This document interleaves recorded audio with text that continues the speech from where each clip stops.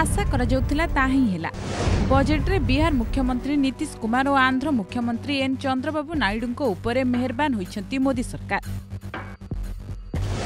ନୀତିଶଙ୍କ JDU ଓ ନାଇଡୁଙ୍କ ଟିଡିପିର ଗୁରୁତ୍ୱପୂର୍ଣ୍ଣ ସମର୍ଥନ ଉପରେ ମୋଦି ସରକାରଙ୍କ ତୃତୀୟ କାର୍ଯ୍ୟକାଳ ନିର୍ଭର କରୁଛି।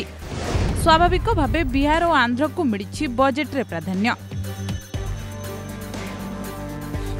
କେନ୍ଦ୍ର ସରକାର ବିହାର ପାଇଁ ବଜେଟ୍ରେ ଛବିଶ ହଜାର କୋଟି ଟଙ୍କା ସହାୟତା ବ୍ୟବସ୍ଥା କରିଛନ୍ତି।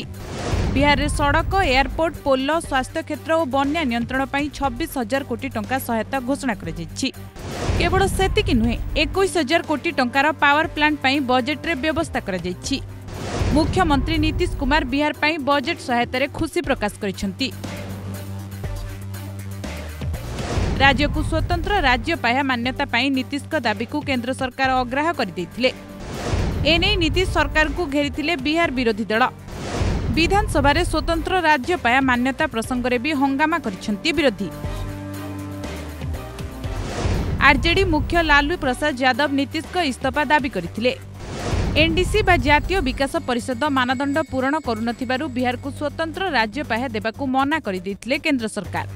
ଆଉ ନୀତିଶକୁ ଖୁସି କରିବା ପାଇଁ ବଜେଟ୍ରେ ବିହାର ପାଇଁ ବେଶ୍ ଅନୁଗ୍ରହ ଦେଖାଇଛନ୍ତି। ନୀତିଶ ଖୁସି କିନ୍ତୁ ବିରୋଧୀ ଏବେ ଚୁପ୍ ହୋଇପାରିବେ କି? କେନ୍ଦ୍ରର ବିଶେଷ ସହାୟତା ଦେଖାଇ ବିରୋଧୀଙ୍କୁ ଚୁପ୍ କରିପାରିବେ କି ନୀତିଶ? ନୀତିଶ ବିହାରରେ ଆଗୁଆ ନିର୍ବାଚନ ପାଇଁ ପ୍ରସ୍ତୁତ ହେଉଥିବା ଜଣାପଡ଼ୁଛି।